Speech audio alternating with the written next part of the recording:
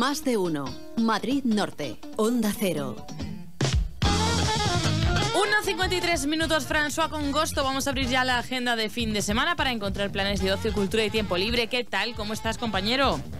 Muy buenas tardes. Bueno, pues me he dedicado estos últimos minutos a completar una agenda de ocio en el norte de Madrid, que por cierto se ve afectada por el hecho de que este fin de semana se celebren las fiestas de la Comunidad de Madrid, fiestas del 2 de mayo, y bueno, pues algunos municipios hayan dado vacaciones a los trabajadores de centros del Teatro Municipal, por ejemplo, por lo tanto hay menos actuaciones de las que hay otros fines de semana. ¿Qué te parece que comencemos por Alcobendas, Sonia? Venga, vamos a Alcobendas, donde creo que hay concierto el de por el 2 de mayo.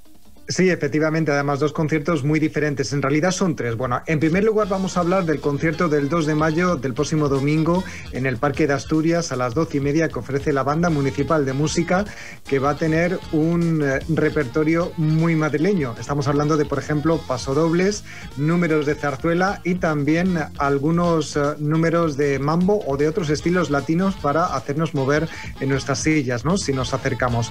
Por otro lado, ese mismo día, el domingo, tenemos uno dos conciertos de la sesión Bermú, que recordamos es un programa que organiza la Comunidad de Madrid y que eh, realiza recitales en diferentes puntos de la geografía madrileña. En este caso, este domingo van a estar a las doce y media y a las dos de la tarde en el Jardín de la Vega dos eh, grupos de música muy diferentes a la banda municipal de música eh, de la que te contaba anteriormente. Por un lado, a las doce y media estará Aiko, que es una banda de punk rock, y a las dos de la tarde estará Lisa Simpson, que es eh, un, grupo que hace punk pop con eh, canciones divertidas y reivindicativas. En todos los casos, los conciertos son gratuitos, la entrada es libre hasta completar aforo y habrá que cumplir, obviamente, con las medidas de protección y seguridad contra la COVID-19.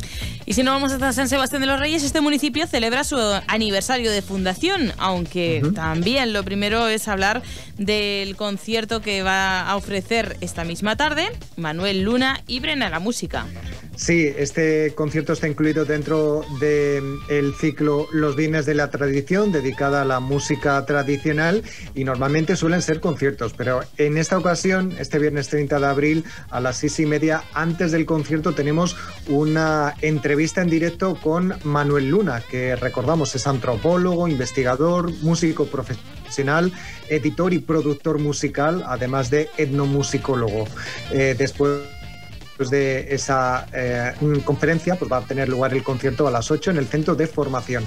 Y en cuanto a la programación con motivo del aniversario de la Fundación de Sanse, que recordamos va a tener diferentes actividades el 1 y 2 de mayo, pues tenemos que decir que están, eh, em, digamos, dirigidas a los ciudadanos empadronados que pueden apuntarse a las mismas hasta hoy en el teléfono 916238190 y que incluyen, por ejemplo, mañana un espectáculo infantil, Toys, un misterio de juguetes, o bien la actuación ya a las ocho y media de Fran Valenzuela que canta por Alejandro Sanz. Luego ya el domingo tenemos una ofrenda floral y a la una de la tarde el acto institucional de la Fundación de San Sebastián de los Reyes con la actuación de la Banda Municipal de Música que incluye una serie de homenajes a eh, bueno, pues, eh, vecinos eh, y vecinas que se han destacado por su actuación profesional, cultural o social.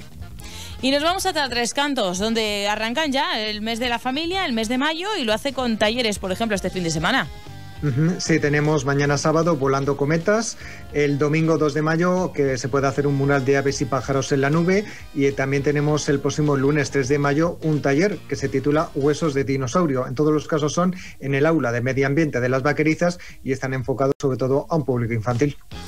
También en Colmenar Viejo comienza la edición del City Nature Challenge 2021 que podemos decir que es un biomaratón de biodiversidad donde nos invitan a los ciudadanos a que, por ejemplo, hagamos fotos de cualquier animal, vegetal, hongo o evidencia de vida, hablamos de esqueletos, plumas, o también podemos hacer grabaciones de audio, ¿no?